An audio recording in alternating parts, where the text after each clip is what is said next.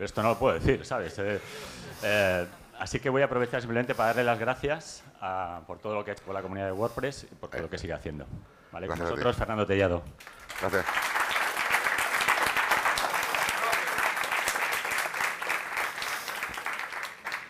Bueno, muchas gracias por estar aquí. De verdad, porque tenía, una competencia muy dura hoy y dudaba si estaríamos viendo aquí o, a, o al otro Fernando que está en la otra sala. Bueno, lo primero, os digo, gracias, gracias por, dedicarnos este ratito y para hablar de esta cosa tan poco popular como es la, seguridad de WordPress, que es de lo que hablamos ahí, ¿vale?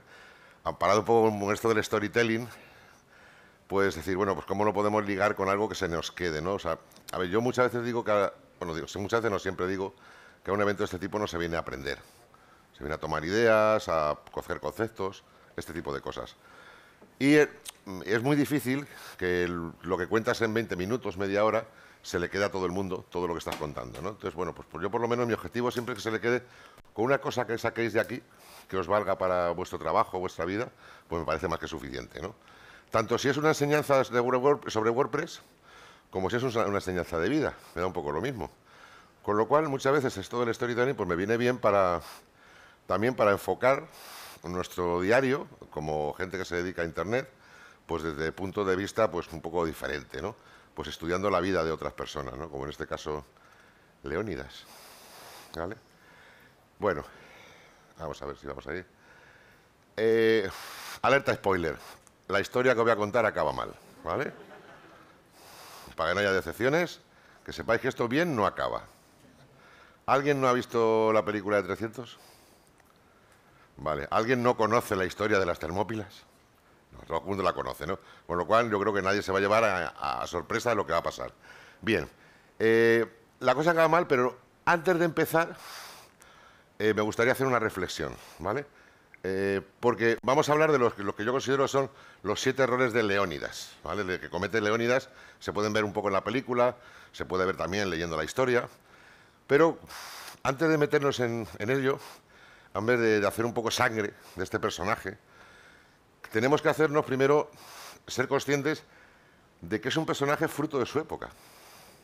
¿Entendéis lo que pasa? O sea, eh, ahora mismo hay aquí un montón de gente de distintas generaciones, ¿no? Generaciones Z, Y, X, millennials, eh, de todo, fucking funcionarios, un poco de todo, ¿no? Eh, también le pasaba a Leónidas. O sea, si sabéis, habéis visto la película, conocéis un poco la historia de los espartanos, sabéis que esta era gente que tenía una vida muy dura, que desde pequeño estaban eh, influenciados socialmente para dar un muy alto rendimiento. Dar muy alto rendimiento, tener un cuerpo preparado para la lucha, desde pequeños los, los enseñaban pues eso, a, incluso a contener el vómito en las situaciones difíciles, para evitar ser detectados por los animales, eh, luchar contra las adversidades, eh, aguantar el frío, aguantar el calor, o sea, ser un fucking máquina, ¿no? Como nos, nos venden ahora mismo. Entonces era un poco fruto de su época. Y cuando veamos a algún TikToker de estos por ahí venirse arriba, pensar que podría ser el Leónidas de nuestro tiempo. ¿Vale?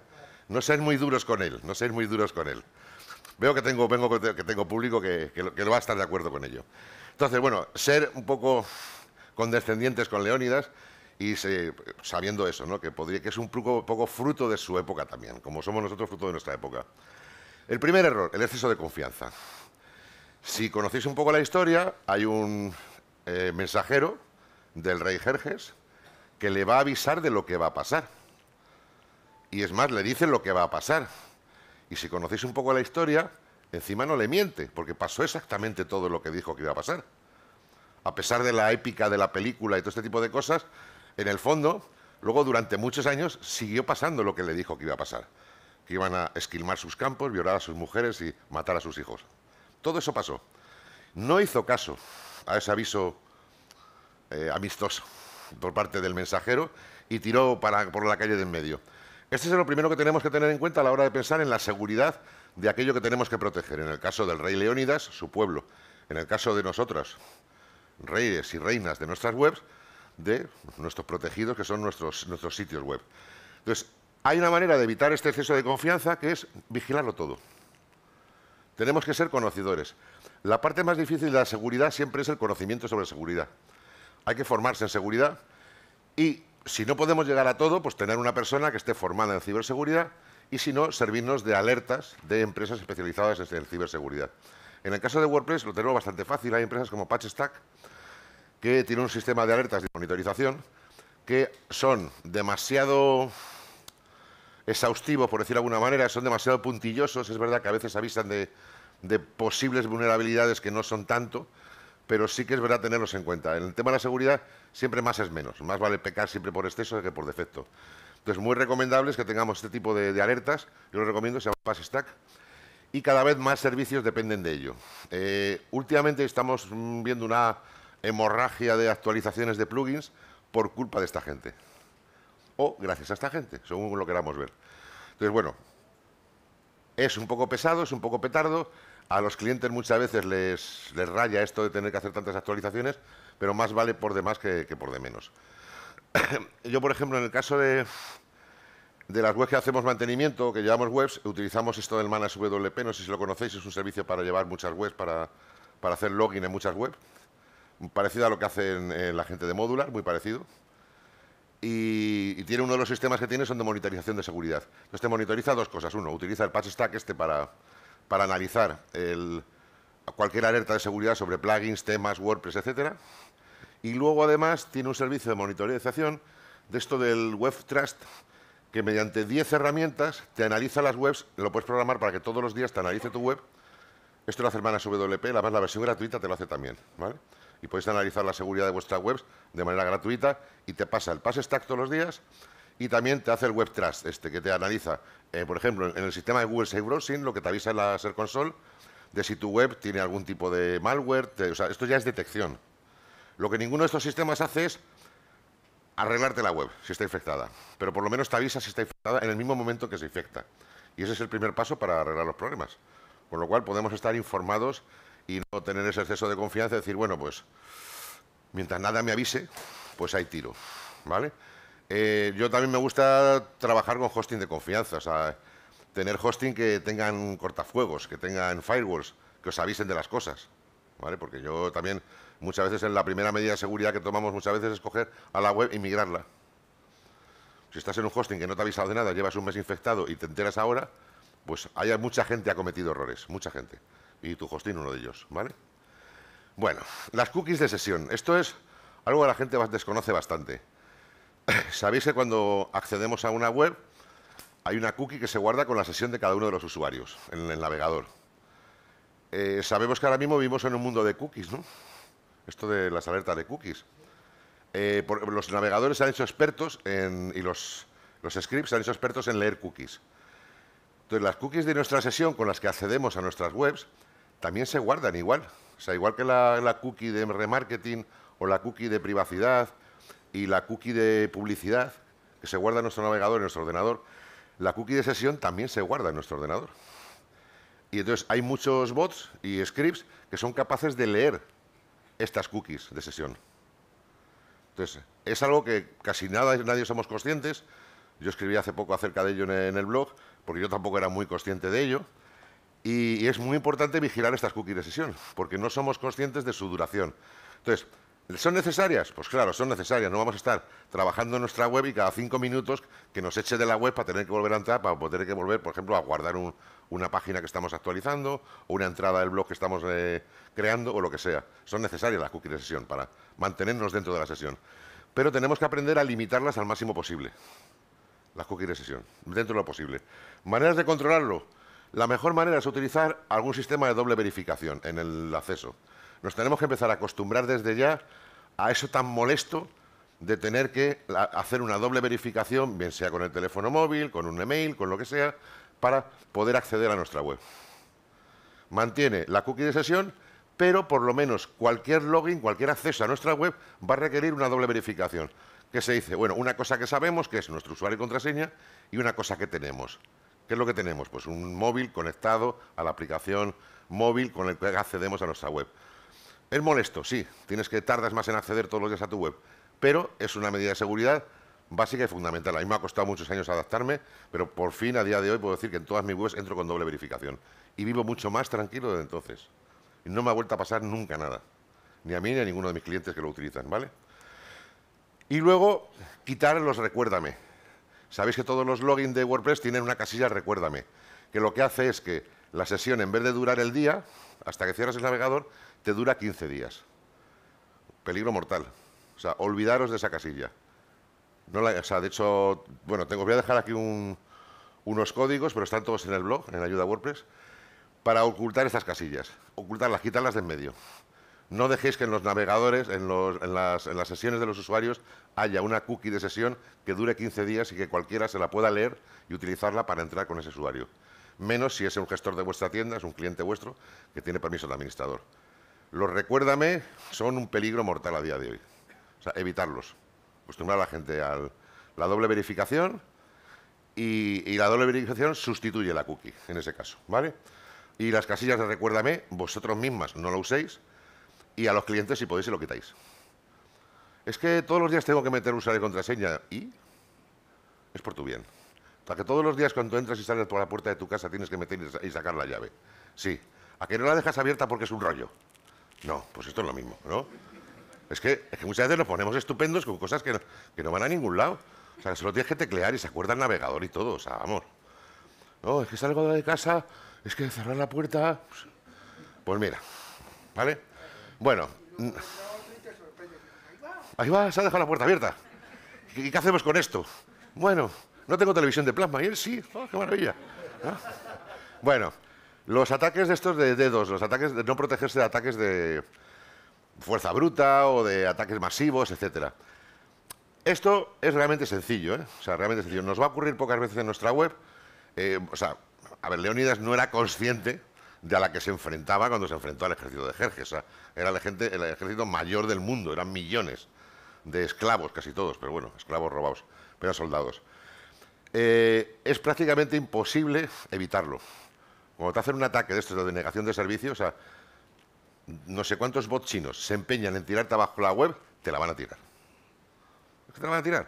Lo más que puedes hacer es enterarte y protegerte dentro de, una justa medida. ¿Se pueden parar ataques de dos? Se pueden. Eh, el conocer la técnica es muy interesante, por ejemplo, para protegerse ya no de ataques de denegación de servicios, sino, por ejemplo, de eh, picos de tráfico. Nosotros, por ejemplo, entre los clientes que tenemos, tenemos alguno que sale de vez en cuando pues, en programas de televisión. Y cada vez que sale el programa de televisión en directo, comenta su web. Y comenta su web, que su web normalmente pues la tenemos en un plan compartido de hosting, de estos de que valen cuatro perras, que pagas cuatro euros al mes y cosas así. Porque normalmente le llega, le basta y le sobra, como a la mayoría de nuestras webs. Nos basta y nos sobra con cualquier hosting compartido. Ninguno tenemos aquí el tráfico de, de Beyoncé. Las cosas como son, ¿vale? Nadie, normalmente no lo tenemos. Entonces, la mayoría nos vale con un hosting compartido. Dice, espera, y el día que salgo Masterchef, oye, contrátame el cloud más gordo que hay porque ese día me tiran la web. Digo, hombre, no vas a estar pagando 300 euros todos los meses porque salgas un día al año en Masterchef. ¿Vale? O en un programa de Ana Rosa. Que puede pasar estas cosas. Entonces, puedes considerar un pico de tráfico como un ataque de denegación de servicio y protegerte sobre ello, ¿vale? Nuevamente, cuando tengas un ataque de este tipo, casi lo más efectivo es Cloudflare. Cloudflare es un servicio totalmente gratuito que tiene un servicio dentro de la parte de seguridad que es eh, que estoy bajo ataque y lo que cuando lo activas, lo único que hace es, no sé si tengo la captura por aquí, ves el modo under attack, lo activas, es muy fácil y lo único que hace es una especie de verificación por JavaScript de que la persona que está visitando la web es un usuario legítimo, por decir de alguna manera. ¿sí? Es un usuario normal. Eso, que no eres un robot. No, pero no hace falta ni siquiera marcar que eres un robot o que no lo eres. Lo hace automáticamente. Entonces, marca manda, hace una pequeña espera en la visita del usuario, totalmente transparente, que es enseguida. Hay muchos usuarios que ni se dan cuenta de esa prepantalla negra que sale ahí de Cloudflare. Y vamos, cualquier hosting te aguanta con esto, te aguanta cualquier pico por grande que sea. Nosotros no hemos tenido que cambiar de hosting a estos clientes nunca, gracias a esto, el, under attack. Si tienes un ataque de negación de servicio, el problema suele ser cuando hablas con tu hosting que te va a decir, bueno, pues eh, bloquea las IPs. Te están atacando desde IPs chinas, bloquealas. no tienes tiempo. O sea, muchas veces hasta te han, tirado el panel. No puedes ni acceder al panel porque te han tirado todos los, recursos. De momento, si metes, tienes el Cloudflare por delante, yo muchas veces activo el Cloudflare solamente para esto, para tenerlo, para en caso de necesidad por la capa de seguridad adicional que le metes a tus webs. Encima gratis, o sea, no sé cómo explicaroslo. ¿vale? Yo soy muy de las cosas gratis. Los autónomos somos así, gente rácana y, ahorrativa. Y si encima es gratis y funciona bien, pues, ¿para qué vamos a discutir, no? Bueno, a lo que voy. El ataque de agregación de servicio. Porque sí, luego podemos bloquear tráfico, podemos bloquear tráfico por países, por IPs, por un montón de cosas. Pero todo eso ya es a posteriori, para evitar que tener que hacerlo, si ya sabemos que nosotros no tenemos tráfico normalmente, de, que sé, de Lituania, y de repente tenemos picos de tráfico de Lituania, pues vamos a bloquear el país entero de Lituania y que los lituanos que se queden sin ver mi web, ¿por qué la voy a hacer? hacer? No me compran nada, pues ya está, pues peor para ellos. Bueno, no tener un buen cortafuegos. Esto del cortafuegos es como el último punto que vamos a ver. Esto pues son los padres. Todo el mundo sabe que hay que tenerlo, pero nadie lo tiene. El mejor cortafuegos que hay es el que no sabe, el que no conocemos que suele ser el que te venga, el que te ponga o bien tu CDN, el Cloudflare, o tu hosting. Son los mejores. O sea, siempre cuando contratéis un hosting, fijaros que os tengan un buen cortafuegos. Y que esté adaptado a WordPress, que conozca cuáles son las, reglas del funcionamiento de WordPress. Funciona en base a peticiones POST, a peticiones GET. No me voy a meter en ello, ¿vale? Pero que sepáis que tiene que estar adaptado a la manera en cómo gestiona el tráfico una web WordPress y un hosting adaptado especializado en WordPress debería tener un cortafuegos que funcione para proteger el tráfico de WordPress, ¿vale? Entonces, maneras de hacerlo. Hay un firewall que yo utilizo mucho, que se llama el 7G, que es gratis. Es un firewall de aplicación, para reforzarlo. Y es un, eso lo buscáis, buscáis firewall 7G, o cortafuegos 7G. Es un archivo de texto que te lo bajas, copia, pegas en el HT Access y te protege, yo qué sé, del 90% de los bots que hay en Internet. Y eso ya te está quitando tráfico basura. Te protege del 95% de los comentarios spam que te meten desde Internet. Y eso te quita mucha porquería de la base de datos. Y te quita mucho tráfico de, que no vale para nada. ¿De acuerdo? Y de muchos intentos de inyecciones y de protección de archivos y demás. Y luego las cabeceras de seguridad. Las cabeceras de seguridad, no sé si lo sabéis, son una serie de etiquetas HTML, las cabeceras de seguridad HTTP que se llaman, que son, hay una serie de protocolos, o sea, los navegadores con los que visitan nuestras webs tienen una serie de protocolos de funcionamiento, de cómo leen las webs, de cómo tienen que entenderlas, de cómo aplican las normas de navegación o de visualización de las webs. Entonces nosotros, desde nuestra web, le podemos decir a los navegadores cómo tienen que funcionar de manera segura. Entonces, con las cabeceras de seguridad HTTP le mandamos, como desde nuestra web, órdenes a los navegadores de nuestros visitantes para que funcionen de manera, determinadas maneras. Por ejemplo, podemos forzar a que los navegadores de los usuarios que nos visitan solamente abran nuestra página si está detrás de un, de un certificado SSL. Forzar a que solamente se vea nuestra página en modo seguro. No sé si os ha pasado alguna vez, cuando esto lo podéis activar desde el navegador, o nosotros lo podemos forzar desde nuestra configuración de nuestra web para que no podamos hacer la excepción. Sabéis que cuando visitáis una página que te dice, esta URL no es segura, ¿quieres añadir una excepción? Pues eh, desde el navegador tú puedes configurarlo para que no se pueda añadir excepciones, pero podemos forzarlo también desde nuestra web, para que nuestra web no se pueda hacer excepciones a ese. Es una de las cabeceras de seguridad, la HSTS, ¿vale? Entonces, hay una serie de normas de seguridad que nosotros podemos forzar en los navegadores de aquellos que nos visitan para que nuestra web sea más segura. Lo digo por si nunca os han explicado esto de las cabeceras de seguridad, básicamente viene a ser esto. ¿vale? Forzamos un poco el comportamiento de los navegadores en nuestras web. Pues es interesante y es un copiar y pegar, ¿vale? Y luego podemos también, Cloudflare también tiene muy buen cortafuegos. Y yo os digo, yo solamente por esto, y porque es gratis, lo casi todo lo meto en todas las webs, el, el Cloudflare. Es una, gloria bendita. Eh, dejar abandonado el backend, el admin. Nos centramos mucho en los ataques que nos vienen de frente, pero los ataques vienen por atrás. ¿Cómo tenemos a salvo nuestra retaguardia? Hay que proteger la retaguardia, aunque sea con cariño. ¿vale? Vale, la verificación de dos, factores. O sea, acostumbraros ya, meterla ya. No os preocupéis, por ejemplo, es que tengo, Fernando, es que tengo un comercio electrónico y resulta que en el e-commerce, ¿cómo le hace ya a los clientes que metan la doble verificación? Bueno, no es obligatorio. Es, es, especialmente importante donde hay usuarios que tienen un acceso sensible. Administradores, editores, perfil de gestor de tienda. Esos perfiles son los sensibles, los que pueden hacer cosas una vez que entran. Un perfil de cliente que normalmente no tiene ni acceso al backend, no le vas a forzar en la doble verificación. Pero también incluso lo podrías poner como valor añadido. ¿Vale? O sea, en un banco lo vemos como un valor añadido, aunque nos moleste el que tenga la doble verificación. Nos sentimos más seguros cuando el banco tiene doble verificación que cuando no la tiene. Poco a poco en el tiempo nos vamos acostumbrando a que sí, a que es mejor. pues en un momento dado podemos eh, aplicarlo como un valor añadido a nuestra tienda. Nuestra tienda está segura que toda transacción te va a pedir la doble verificación. No, yo en principio no lo recomiendo, a priori, pero por tema de usabilidad. Pero a medio plazo puede llegar a ser un valor de diferencial. Quizá Pablo tenga estudios ya sobre estas cosas, ¿no? Sobre el embudo de ventas y este tipo de cosas cuando metes a, a cosas estas. Y bueno, y luego eh, puedes protegerlo. El admin siempre lo puedes proteger por IPs. Hay normas muy sencillas que puedes meter en el archivo HTACES, que es como la madre del cordero para toda nuestra web, y puedes protegerlo en base a decir, oye, ¿con qué IPs? ¿Desde qué IP se puede acceder al admin? No se puede acceder. Normalmente al admin tiene que acceder muy poca gente, al admin de una web. O el equipo de contenidos para escribir posts y va a tener un perfil de autor o de contributor o de colaborador. Y nosotros cuando vayamos a actualizar cosas. Y si utilizamos gestores tipo el módulo RDS o el Manage WP y demás, ni siquiera tenemos que acceder. O sea, la aplicación se comunica mediante API directamente y todo lo que tenga que hacer lo hace automáticamente. ¿Vale? Eh, no sé si tengo alguien que me dice la, la hora. ¿Qué tal vamos? ¿Eh? ¿Un minutito? Ahí estamos. Efialtes. El hombre guapo no era, pero sincero lo era. ¿Vale? El malware y los troyanos. Esto del malware. Bueno, eh, las actualizaciones. Esto con esto podemos forzar todas las actualizaciones de WordPress, de plugin, las menores, todo. ¿Qué es mejor? ¿Hay alguien por aquí que le tenga todavía yuyo las actualizaciones estas menores que hace WordPress que las hace solito? No, todos las hacéis, las tenéis todas puestas en automático. Las de los plugins, todas. Las de los clientes también no, ¿no? ¿Y las de Chrome? ¿Las tenéis en automático? ¿Las del navegador? Sí, no lo sabéis, pero sí. Se actualiza solo. Acá hace años que nos pide que se actualice el Chrome.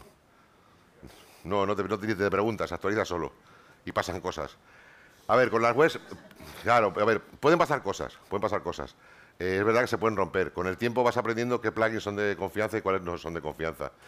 Eh, cada vez hay menos plugins y son de confianza que den problemas en las actualizaciones. Y los problemas en las actualizaciones, lo bueno es que WordPress, eh, de hecho, últimamente ha incorporado un sistema que le llaman de rollback, que cuando tiene un error en una actualización vuelve atrás. De hecho, la próxima versión de WordPress que va a salir, la 6.4, la 6.6, me parece que es la 6.7, van, van a, mejorar ese sistema de manera que si hay cualquier fallo en la actualización automática de un plugin, de un tema, va a volver automáticamente a la versión anterior. Lo va a detectar y va a volver a la, versión anterior. Esto hasta ahora necesitamos herramientas externas para hacerlo.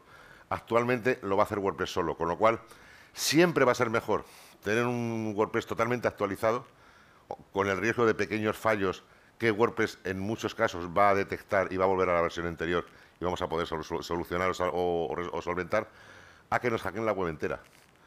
O sea, yo prefiero que me llame una mañana un cliente que me diga, oye, ¿qué has actualizado? Digo, ¿por qué? No, es que se me ha ido el botón este azul, que antes era azul, se me ha colocado después de, del botón de pago, no sé qué, no sé cuántos. Digo, vale, no te preocupes, que todo, eso tiene arreglo. Lo que no tiene arreglo es que te entre un hacker y tengas que cerrar la web durante todas las navidades. Eso no tiene arreglo. Y yo, como a algunos les ha pasado, se lo recuerdo. Digo, ¿te acuerdas cuando me contrataste la primera vez? ¿Qué pasó aquella campaña de Navidad? Que no pudiste vender nada, ¿verdad? Hasta que migramos, limpiamos la web. ¿Por qué? Porque si funciona, no lo toques. Teníamos ahí plugins sin actualizar de hacía dos años. Y por ahí te entraron. Entonces no somos conscientes del peligro y lo que es peor siempre. Siempre es peor la otra opción, ¿vale? Y se puede forzar actualmente. Eh, ¿Dónde estamos aquí? Ausencia de copias de seguridad. Esto es la mano del cordero. Yo no sé cómo no, no, lo sabemos, o sea, no somos conscientes. Yo, esto hay que sufrirlo. Esto hay que sufrirlo. Eh, ¿cuántos, ¿Cuántos tenéis copias de seguridad de vuestra web? Bueno, ¿quién no tiene copia de seguridad de su web? ¿Quién ha probado si las copias de seguridad de su web funcionan? Claro. ¿Quién de su web o de otros? O sea, porque, entonces, ¿cómo se hace? Yo siempre digo, mira, si contratas algo, a ver, que yo soy autónomo. ¿Quién de aquí no es autónomo? Bueno, ¿quién es autónomo aquí? Vale. ¿Quién llama de vez en cuando para ahorrarse dinero en la cuota de la telefonía, del móvil? Todos, ¿no? Estamos ahí o aguilillas a pillar, ¿no? Si contratamos algo y nos da una serie de prestaciones y una de ellas son las copias de seguridad, yo siempre digo probarlas. Haces una instalación, pum, le esperas a que te haga la primera copia de seguridad, rompes algo y le das a restaurar, a ver si funciona. Hacerlo siempre, se trata cinco minutos y podéis tener una confianza, eso es fundamental. Tener la confianza que mañana podéis hacerla así, pum, y salvaros una situación de la que sea, incluso de que WordPress ha roto una actualización. O sea, eso te da la vida, el poder confiar en ello. O sea, nosotros, por ejemplo, trabajamos con varios sistemas de seguridad, de copia de seguridad, externas, internas, etcétera, etcétera, pero saber que todos podemos en un momento dado darle para atrás y recuperar la web de nuestro cliente, hace que te puedas dedicar a ello. Si no, yo no me podría dedicar a hacer mantenimiento de web. Pues yo no podría garantizarte que pase lo que pase, yo te recupero la web. Si no es en tu hosting actual, en otro. Yo siempre voy a tener dos, tres copias de, de, tu web. Además, de si eres una tienda online, te la voy a hacer cada hora. Y vamos a perder un pedido, pero no vas a tener un problema gordo, ¿de acuerdo? Es fundamental, ¿vale? Comprobar que las copias de seguridad del hosting, que las tenéis y que funcionan. Hacer esa prueba sencilla. No, lo hagáis con la, con la instalación nueva. Instaláis un nuevo WordPress en una carpeta, esperáis a que pase el periodo de copia de seguridad, si son diarias, por ejemplo, que se haga. Mañana llega, rompes algo en esa instalación, a propósito. O cambias un post, o publicas un post nuevo, así, para probar. Y restauras la copia de seguridad para comprobar que se ha restaurado todo como estaba. Comprobarlo, no, no cuesta nada, ¿de acuerdo? Y luego, pues tener sistemas ya como estos avanzados de los sistemas de gestión, tipo modular o tipo Manas WP, que te permite ya programar hasta el infinito. Puedes programar copias de seguridad pues cada hora, instantáneas, etcétera, pero siempre por lo menos tener un par de, un par de métodos, mínimo un par de métodos. Siempre tirar. ¿Por qué? Porque estos vacas, por ejemplo, dependen de que esté conectado el sistema este a la vuestra web o la web de vuestro cliente, depende de ello para poder restaurarse. Pero si, se si en el proceso de rotura de lo que se ha roto se desconecta también, no vas a poder restaurarlo automáticamente. Vas a tener que tirar de la otra copia, la de seguridad del, del hosting, o hacer una restauración manual también hay que hacerlo muchas veces. Algún día haremos un taller para restaurar webs manualmente, es una cosa muy mona. Y si no hay plugins, a día de hoy podéis hacer un sistema de backup manuales bastante barato, con los plugins estos de seguridad tenéis un montón, el, yo que sé, el backup WP, cualquiera de estos funciona bien, una cuenta de Dropbox de estos de dos teras que vale cuatro perras, podéis hacer backup de un montón de webs. Y os lo hace, automáticamente los plugins. No los hagáis nunca de donde en el hosting, para tener dobles y los podéis hacer en una cuenta Dropbox que vale, no sé, 5 dólares, 2 terabytes y bastante, bastante barato y fiable. Y bueno, pues eso, eran los siete errores de, Leónidas. El exceso de confianza se soluciona con análisis y monitoreo. Las cookies de sesión, por recordarlo, con la doble verificación y el tema de la caducidad de las cookies, acordaros de quitar el recuérdame. los ataques de dos, con Cloudflare y bloqueando IPs. Lo del cortafuegos, con el firewall, el 7G y las cabeceras de seguridad el backend vulnerable, 2FA y limitar las IPs exactamente da igual. Malware y troyanos con actualizar, actualizar, actualizar, actualizar.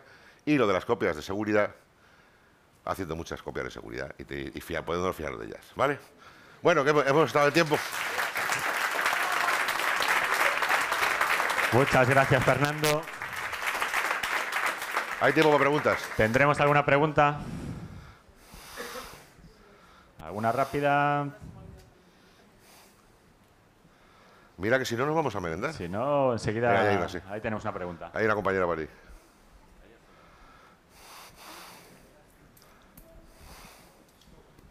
Muchas gracias. Hola. Hola. Vale, a ver, todos sabemos que hay que actualizar los plugins y tal, pues eh, para el tema de la seguridad, ¿no? Pero es decir, es que antes comentaste, es que si no actualizamos los plugins puede que nos entren por ahí. Y casi, casi siempre te entran por ahí. Claro, pero ¿Por qué? Es decir, ¿por qué un plugin, o sea, qué es lo que hace la actualización de un plugin para que no te ataquen eh, y te puedan entrar sin que esté actualizado? Vale. Eh, a ver, normalmente las, las, a ver, los hackers, hay los hackers, la gente que intenta meterse en tu web con malas intenciones para ti, buenas para ellos, siempre va a buscar vulnerabilidades, o aquellas debilidades que tienen tu sistema. Tu sistema tiene varias maneras, tiene muchas aplicaciones. Pensar en WordPress, en vuestra web, como un paquete de aplicaciones. En ese paquete de aplicaciones esta es la parte más, más fuerte, que la parte más fuerte es WordPress. WordPress casi siempre es seguro, casi siempre está actualizado y casi siempre, casi muy pocas veces es vulnerable en sí mismo. La parte más débil suele ser los plugins. ¿Por qué? Porque hay mucha menos gente pendiente de los plugins, de un plugin en concreto, que de todo WordPress. Por ejemplo, hay un equipo muy grande de colaboradores del núcleo de WordPress que permanentemente vigilan el código de WordPress para buscar vulnerabilidades, etcétera, etcétera. Entonces hay mucha gente pendiente de un solo software. Sin embargo, luego en tu web, ¿cuántos plugins puedes tener? ¿10, 20, 50, 80 si tienes un e-commerce? ¿Cuánta gente hay pendiente de vigilar que el código del plugin no sé qué, de la lista de deseos, es seguro, no tiene ninguna vulnerabilidad en su código, o de repente se ha descubierto una vulnerabilidad sobre parte del código que utiliza tu plugin? Es mucha responsabilidad muchas veces para pocos programadores. ¿Entiendes por dónde voy? Entonces, esos programadores muchas veces no son expertos en seguridad tampoco. No estudian alertas de seguridad. No tienen un equipo de seguridad específico que analice su código frente a nuevas posibles vulnerabilidades de tu código existente que puedan ayudar, decirte, oye, parchea, modifica tu código que ayer era seguro, pero se ha descubierto que hay una posible vulnerabilidad haciendo no sé qué. ¿Me entiendes por dónde voy?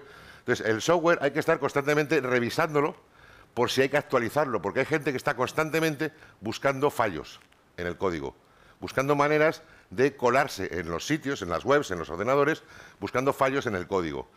Entonces, si tú no tienes un equipo que esté permanentemente auditando tu propio código para evitar esas vulnerabilidades nuevas que se van detectando, que van detectando la gente que intenta meterse en web, pues normalmente se te van a colar.